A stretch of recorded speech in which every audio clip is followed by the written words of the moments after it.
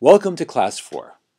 In Class 4, we have a series of lessons that will show you some more advanced methods.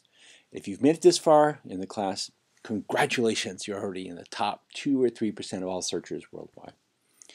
In particular, we're going to start off with search by image. Now, you know how to search for images. You type in some keywords, you find some images that look like that. Great. But what if you have the opposite problem? I have a picture. Now, how do I search for that? You could guess all the words and try to get that way, but this is a much better way I'll show you. So here, for example, I have this picture of a lobster. And the question is, where does this come from? What is it? Why do I have it? How would you do that? The answer is you would use search by image, and this is the way you do it. So here we are on images.google.com. And what I can do now is to search for that image. So as you can see in the upper right corner, I actually have that picture of the lobster on my desktop. So what I can do here, if I'm on images.google.com, is drag, click and drag that picture into the drop zone there. See that? I'm going to let go of it, release. It uploads the file and then tells Google, start searching for images like this. Now what you see here is it's guessing the best possible interpretation of that. And it says New York Public Library. Why would that be? It's obviously not a library. But if you scroll down, you'll see that in fact it's probably held in the Public Library of New York because it says the New York Public Library plates free public domain images. Click on that and it takes us to this site rawpixel.com which has collected many of the works of the public domain works that the New York Public Library has put out. So let's scroll to the bottom of this page because I know it's down there and you see this page, which is in fact exactly what we're looking for. Notice that although we searched just for the lobster, it actually is returning us the whole page, which has other images around it. So let's click on that. And now you can see on the upper right corner of this page a little bit of metadata about this.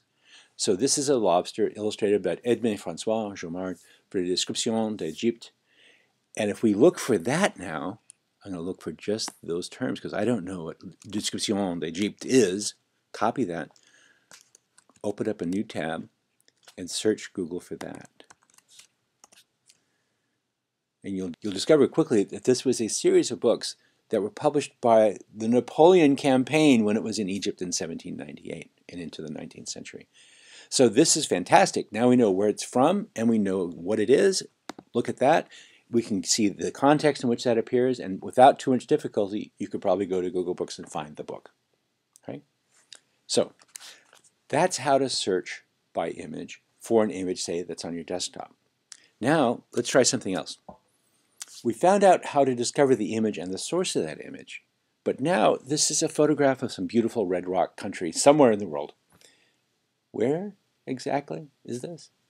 So what we can do with search by image is to do kind of the same thing. We can search for this image and hopefully we'll get some surrounding data that says exactly where it is. So let me show you that. So here we go, Google Images, and I can now click on the camera icon. Notice I'm showing you a slightly different technique because if you just drag this picture into the frame and don't drop it on the drop zone down there, if you, in fact you drop it up here, it just uploads the image. It's not what we want. We want to search for that image. So let's go back one step. Now back on images.google.com, I'm going to drag it into the drop zone like that. And now we're uploading that file. We're going to search for those images again. This time, we get a lot of other data that's associated with that image. So this image appears in a web page in some context, and the most common context is Red Rock Canyon. So as you see here, we've discovered that it's from the Red Rock Canyon National Conservation Area, very near Las Vegas, Nevada. This is not your typical Las Vegas photograph, but now we know. We've learned the location.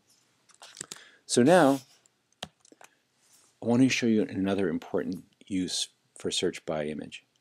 And that's to find images whose provenance, whose origin may not be exactly what you think. So I discovered this in a news story about mudslides in Los Angeles. Oh my gosh, LA, it's always on the edge of disaster. Evidence, Here's a mudslide destroying freeways in Los Angeles.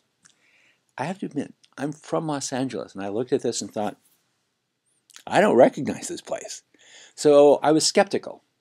Now, what can we do to actually try to verify that? So you saw in the last example that we can actually use that image, and sometimes we can get the location information.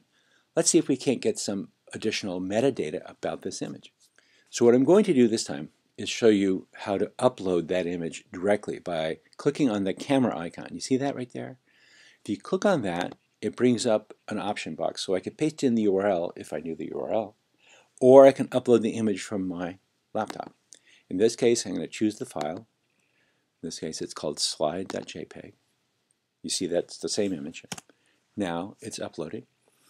It's going to search for that image and just try to discover other information that's associated with it. And if you look here, you see massive landslide in Taiwan caught on. Ah, this is not Los Angeles. It's not LA's fault this time. But let's check it out. Um, we could can we find we can find obviously uh, lots of uh, corroborating evidence here, but this is probably something that would be useful because these are all up here are YouTube videos and those might be interesting, but unless you want to check out the metadata for that. But let's go look at this. So I just clicked on this, and this is an article from China Daily. You can check out the URL at chinadaily.com.cn. So here we have the original article for that landslide, and we can see exactly that it's been corroborated. So my point is, you can use search by image for all kinds of things. Discovering where an image is from originally, basic metadata information about that image and its context. So now you can go ahead and go to the next activity and see if you can use some of these techniques to answer that problem there.